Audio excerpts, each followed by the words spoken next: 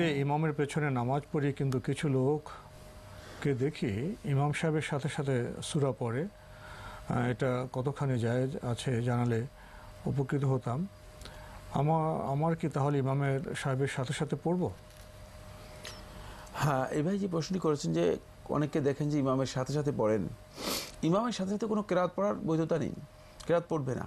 কারণ ইমাম যদি কেরাত পড়ে, তখন শোনাটাই হচ্ছে মানে শ্রবণ করাটা হচ্ছে ওয়াজিব। শুধুমাত্র সুরায় ফাতেহা পড়ার বিধান দেওয়া হয়েছে। রসুল্লাহ সাল্লাহ ইসলাম হাদিসের মধ্যে নির্দেশ দিয়েছেন বেফাতেহাতিল কিতাব। তোমরা আর কিছু করবে না, শুধুমাত্র সুরায় ফাতেহাটুকু পড়বে। সুরায় ফাতেহাকে পড়তে নির্দেশ দিয়েছেন, আর বাকি কিছু করার নির্দেশ দেননি।